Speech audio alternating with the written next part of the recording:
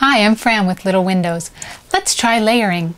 With the Little Windows resin and mold, you can layer all kinds of different materials. I'm going to play with beads, fabric, and photos, doing different kind of layering techniques so you can see how this works. If you're going to be using something flat like fabric or paper, you can also use our Little Windows cropping template to simply trace around the shape to fit in the bottom of the mold. Now that I've cut out the background pieces, I'm going to mix my resin.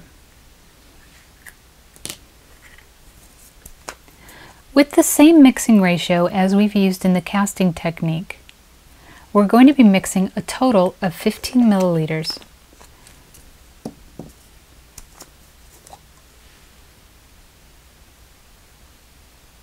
Again, a 2 to 1 ratio. I don't recommend mixing a batch smaller than this because if it's any smaller than 15 milliliters, it's very difficult to get the ratio correct and then you may end up with sticky spots on your cast piece. So again, we're just going to stir slowly, scraping the sides and the bottom for two and a half minutes. I've mixed this for two and a half minutes.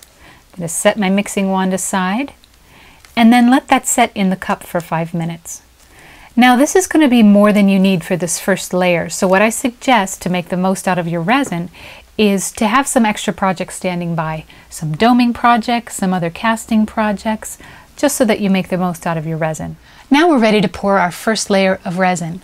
Now we don't want to pour this very deep because as you remember we're going to be doing a second layer on top. You can even do a third and fourth layer if you'd like. Just keep them thin. We're going to slide in our photo. We're going to slide in our fabric and let's just push these down to the bottom.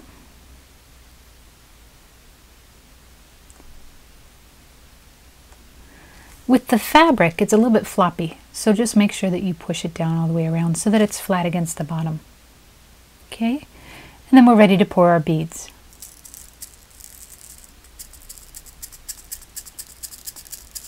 You can pour these in randomly and then use your mixing wand to move them where you'd like them to be.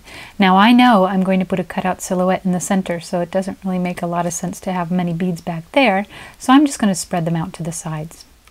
We're going to cover this up and allow 10 minutes for any bubbles to rise up. It's been about 10 minutes, so let's check this for bubbles.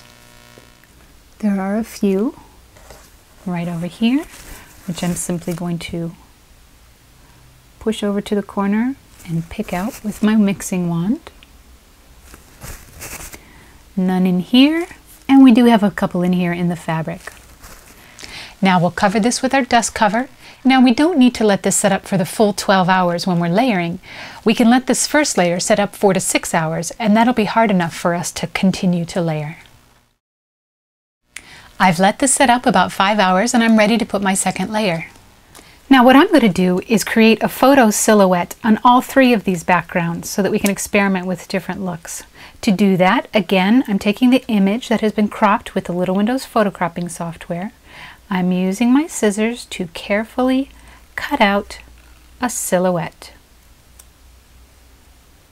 Now you'll want to mix up a fresh batch of resin, which I've done, and you're going to pour a layer on top of the first one.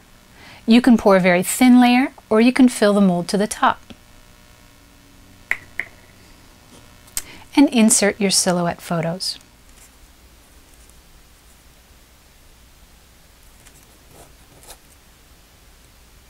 And as we mentioned before, you have about, oh, 20 to 30 minutes to play around with this before it really begins setting up.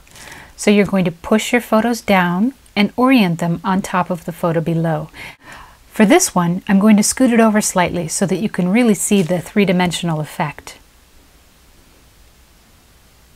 On top of the beads, you can just move it around and place it where you'd like. And the same thing with the fabric shot. On this one, I'm going to move her over a little bit to the right, just so that I have a little artistic off-center look. Again, wait 10 minutes, pop any bubbles that arise, and then let's set up for the full 12 hours to cure. I've let these set up for at least 12 hours and they are ready to come out of the molds. Now I couldn't wait so I already cracked these out so you won't hear that great cracking sound but what you'll do is simply twist your molds. You'll hear a cracking sound like an ice cube tray and they will come right out. And you can see how beautiful and dimensional these pieces can be. And here they are, our layered little windows. Be sure to visit little-windows.com for supplies and other great project ideas.